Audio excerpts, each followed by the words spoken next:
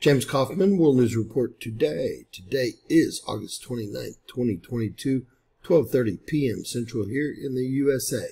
God bless you and yours no matter where you are in the world, folks.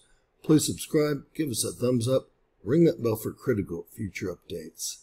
Well, it's been a busy day thus far. It's just noon here in the US and we've seen four large M flares burst off from our star, our sun. None of them were very long duration, but we did have one of them that registered an 8.68, so close to an X flare, unbelievable. We also saw a 3.4 M flare, a, let's see, M2.57, what looks like a longer duration M flare that's had some trouble on the GOES here. We're going to have to look into that here in an hour or two.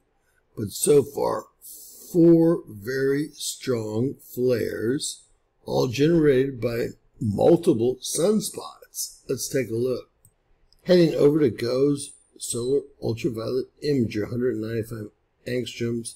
It blinks out twice on the skies in the last hour, although it does not cover any of the time period the very large flares erupted.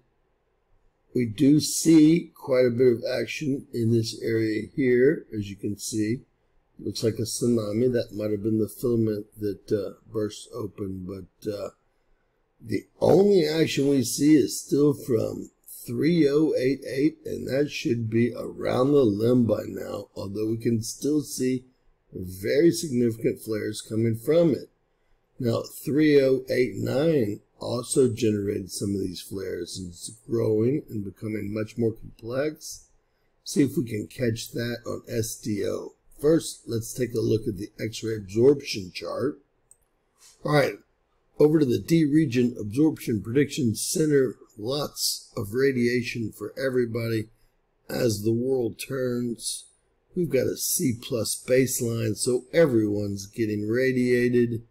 And look at that over Africa. Wow. Right around 11 UTC time. That is one of your M flares. Very strong. Look at the radio alternation. We'll continue. There was no radio usage over Africa for some period of time. The radiation does not stop because after all, we're running that C plus baseline. Let's get ready for another. Well, there is another one of the M flares. Not as strong as the first one. The first one is the 8.73. I guess that was the M4 class. And this brings us into what's happening right now as we speak. We're in the middle of an M flare, as I noted. We have to find out what happens with this M flare. This is lacking for just a few minutes. But, ladies and gentlemen, I believe that this will actually become uh, much stronger looking on the on the absorption chart. Lots of radiation in the air today. Over to SDO, we're looking at 193 angstroms and 171 angstroms. You can see that old sunspot 3088 is still popping off M flares, and we can see that there's a lot of activity around 3089 as well. Right before they, right before they cut the feed, we'll see a large explosion right there. Look like several. We are also seeing activity from the sunspot inside the coronal hole. Again, something I'm not used to seeing. And there's the large explosion right as they cut the feed. I'd also like to offer that there's a sunspot coming around the northern limb up here that is also popping off that could be responsible for some of what we see. We've got a lot of situations going on. As you can see, that flare right there could have an earth component to it and was a very strong flare, northern hemisphere. Nothing like what happened around 3089, which should be everyone's worry for the next several days. 3088 should be out of the picture, but uh, it continues to pop off. We'll hope that it uh, disintegrates and does not hold together as the sun does another spin. You can really get a feel for 3089 and its activity by watching it at 171 angstroms. Look how many solar flares are actually happening here. It's just one after another. Bam, bam, bam, bam, bam, bam, bam, bam, bam, like a machine gun. Unbelievable. Very unstable. Very unstable sunspot indeed. All right, headed over to NOAA's KP index breakdown, August 29, 30th, and 31st. They don't see anything being generated by any of the M flares that have been Earth facing for the last three or four days. They're actually giving us 1 5 today. That time period is already gone. We did see a geomagnetic disturbance, KP4, during that time for three hours. That was it. I will show you that. And they see no other detrimental effects, even though we had so many M flares that were Earth facing over the last several days. I'm expecting an impact or three. Boy, I sure wish I was as optimistic as the folks over at NOAA about those M flares that were Earth facing.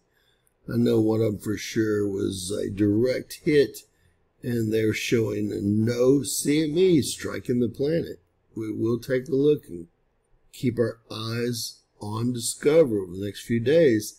See if we're hit with plasma. I expect plasma to be hitting today, tomorrow, and the next day but we will keep you updated. And they didn't even get it close to the right spot. It was uh, between 9 and midnight last night. They had a KP4, which is a solar disturbance. Uh, they marked the KP5s and 4s further into the day. We're going to jump on DSCOVR and see what might have caused this real quick back to NOAA so we can see how wrong they were again. Now, ladies and gentlemen, they did get the KP4 right, but they sure got all this wrong. I wonder why. Those time periods are gone. So we should have seen something. We will go over to DSCOVR to see if something is ongoing. We do have three more prints. This turned out to be a nothing burger. They were wrong. But we do have three more three hour periods before the end of the day. So let's go check out DSCOVR to see if it's blowing up right now. All right. Uh, we did get impacted, it looks like. Uh, we have plasma that impacted us earlier in the day. And this is when we had our KP4 index show up from 3 to 6. So with 20 centimeters cubed of plasma, and close to 400 kilometers per second solar wind, we just got a geomagnetic disturbance, although there are crossovers indicating solar storm activity up top ongoingly. So this is going to be the first of the M flares impacting. And then we're going to see the winds push back up because of the coronal hole that was Earth facing uh, they were pushed down probably because of the incoming plasma. But now the solar winds themselves are causing all these crossovers at 525 kilometers per second. Again, not making much sense. Although we did have the coronal hole with the sunspot facing Earth for about two days. So these were expected. God bless you and yours, folks.